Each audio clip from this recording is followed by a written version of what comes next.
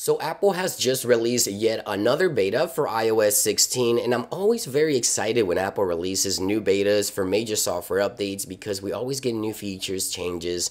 And this third beta is no exception. Now, for those of you still waiting for the public beta program to be active, I'd expect that to be announced here within the next week or so. So, public beta testers, if you're looking to update to iOS 16, stay tuned here to the channel because I'll be covering that here shortly once Apple makes it available. Again, within the next week or so, we should see the public beta program. So, let's take a look at iOS 16 Developer Beta 3. There's quite a bit to talk about with this new beta. I'm so excited to share the changes and important major new features within this one. So, as always, if you would like to stay up to date with the latest iOS news and Apple software updates, don't forget to subscribe and make sure you turn on those notifications so that you don't miss another episode. And now let's head on over into Safari here because I do want to talk about other software. So Apple of course released beta 3 for iOS 16, but as per usual, they updated other other platforms. So iPad OS 16 beta 3 is available for the iPad if you want to download that. We also have Mac OS 13 beta 3 is available for the Mac, of course.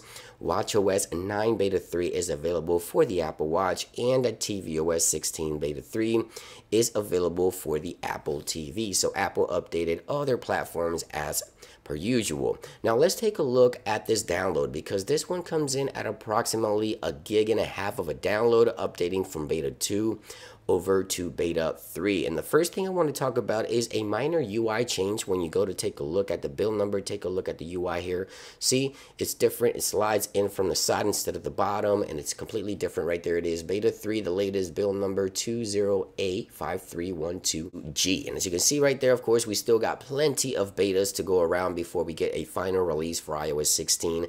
Don't expect this software to be released to the public until maybe mid to late September when the new iPhones get released so plenty of betas to go and many new features and changes to go before we get to that. Now let's talk about some of the minor changes I've noticed so far within about an hour of using the software. And the first thing I want to talk about is home screen options and settings. Now if we go into home screen options here, right there under the settings application, this has been renamed. Instead of show on search, it's now search on home. So this little search tab here that you see on your home screen can actually be removed from the home screen if you do that right there. But this isn't a new feature, just a renamed of a feature that was already there. Just wanted to mention that here quickly.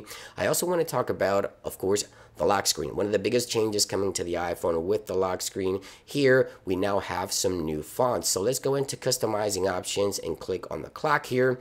We now have two additional fonts. So these six here were here previously, and now we have these two here now available. This one reminds me of iOS 15 font, and this one is new right there as well. So we now have eight instead of six, and right here for the color picker, we now have the opacity, I guess you can call it right there at the bottom. You can go ahead and change that. It's always visible there for you on your lock screen. Now, also, some of these shortcuts or widgets on the lock screen here behave differently. I'm sort of going over some of these uh, lock screen changes. So, of course, stay tuned to the channel. There's a follow-up video coming for you guys with additional new features and changes. Again, this is just a quick first look at some of the new features I've noticed so far. But I also want to talk about one major new feature. But before we get to that, there's also some changes within the wallpapers category. So if we go into settings here, and we go into the wallpaper options, we now have this little platter at the bottom here sort of explaining how to change the wallpaper where you can change it directly from the lock screen. Wallpapers within iOS 16 are a bit harder to implement and sort of get used to once you get your hands on iOS 16. You understand why Apple goes uh, out of their way to sort of explain how the wallpaper elements now work due to the fact that you can now customize your lock screen. So yeah, this platter here now explains how lock screen wallpapers and customization sort of work work with wallpapers. Now, if we go into this option here for the home screen to customize and we go to customize home screen wallpaper, we now have sort of transparent icons here, which makes it a lot easier for visibility when you go to apply a wallpaper. I sort of like that change here. So minor changes to the UI for the wallpapers categories within iOS 16 Developer Beta 3. Now let's get to one of the biggest changes happening here, and that is lockdown mode. And this is pretty much, I guess you can call it a super secure option for iPhones, iPads, and Mac users that are in a threat of a national state level attack. So, for example, private companies developing a sponsor spyware, remember Pegasus? So, this will help your iPhone stay secure. For example, journalists, activists, government employees, basically protecting users from a targeted cyber attack. And Apple explains here when this could be useful and when you can use this feature. Of course, this is major, major coming to the iPhone with iOS 16 as well as iPad and Mac OS. If we go into settings here and we scroll all the way down into privacy and security, this is where you find the new option lockdown mode. And under lockdown mode here, you have the option to learn more and you also have the option to enable it. Of course, right here, you get a brief description of lockdown mode. When iPhone is in lockdown mode, apps, websites, and features are strictly limited for security reasons. And of course, some features may be completely unavailable. For example, in messages, messages attachments are blocked and some features will be unavailable. FaceTime, incoming FaceTime calls from people you have not previously called are blocked or invited. Also, web browsing, browsing technologies, and browsing features are blocked.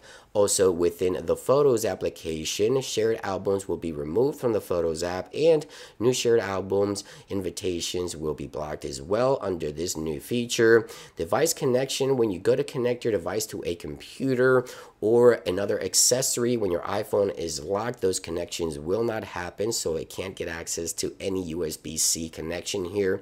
Also, Apple services, incoming invitation from Apple services from people who are not previously invited are blocked as well. And we have profiles from schools and other things like uh, work cannot be installed when this feature is enabled. And if you enable this feature, you get this prompt here once again warning you as into why this feature is important. But at the same time, you must be cautious if you do enable this feature because a lot happens here. Now, Apple has said that they will be continuing to build upon lockdown mode. So this is an initial release of lockdown mode in beta. More features, more options, more restrictions will be coming within the next couple of betas as lockdown mode and iOS 16 continue to evolve. But this is a major, major feature for those who are targeted by agency like government employees and things like that. I think this is super, super cool. And I think also some users can actually take advantage of this in certain situations. But yeah, so far that is everything I wanted to share with you guys so far in regards to beta 3. As I mentioned, a follow-up video will be happening here in the next 24 to 48 hours. I will continue to dig around the software, find new features and changes to share additional things for you and with you in the next coming days. So make sure to subscribe, stay tuned here to the channel. Thank you for watching today's video, guys, and I'll see you on the next one. Peace.